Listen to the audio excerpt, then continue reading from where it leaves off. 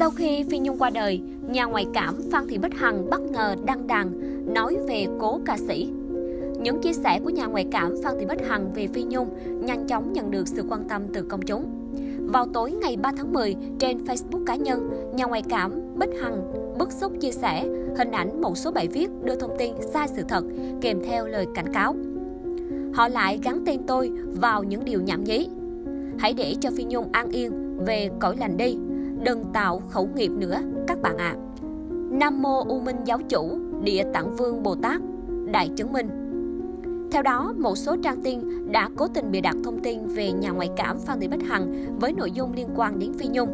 Cụ thể, họ tự cho rằng bà Bích Hằng từng nói rõ lý do cố ca sĩ chưa thể về với Đức Phật là do còn nặng gánh với chốn trần gian. Tuy nhiên, trên thực tế, nhà ngoại cảm Phan Thị Bích Hằng chưa từng có bất cứ phát ngôn nào về sự ra đi của cố ca sĩ Phi Nhung. Vậy nên, bà Hằng mong muốn những ai đang đưa tin sai sự thật hãy dừng lại để Phi Nhung được an yên về với cõi lành. Trước thông tin bà Bích Hằng chia sẻ, công chúng bày tỏ sự khó chịu, nhanh chóng để lại bình luận trách móc những ai đã đưa ra tin sai sự thật về nhà ngoại cảm. Giả danh người khác đăng bậy.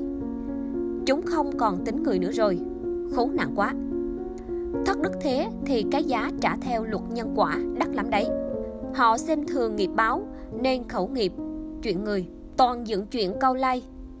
May mà có chị Phan Bích Hằng đến chính. Chết rồi cũng không được yên.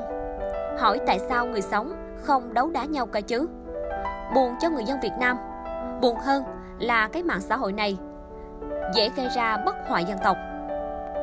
Trước đó, nhà ngoại cảm Phan Thị Bích Hằng cũng từng bị một số kênh YouTube đưa tin bị đặt liên quan đến kết quả điều trị của Phi Nhung. Nhận thấy rõ tính nghiêm trọng của sự việc, có thể gây tổn hại đến uy tín, danh dự và làm phiền hà đến nữ ca sĩ. Bà Bích Hằng lập tức đăng đàn đến chính. Có thể thấy, do bà Bích Hằng là nhà ngoại cảm nổi tiếng, có sức ảnh hưởng lớn, được nhiều người quan tâm, nên một số thành phần xấu đã mượn tên tuổi, hình ảnh và giả mạo phát ngôn của bà nhằm mục đích chuộc lời cá nhân. Rất đáng lên án và tẩy chay quyết liệt.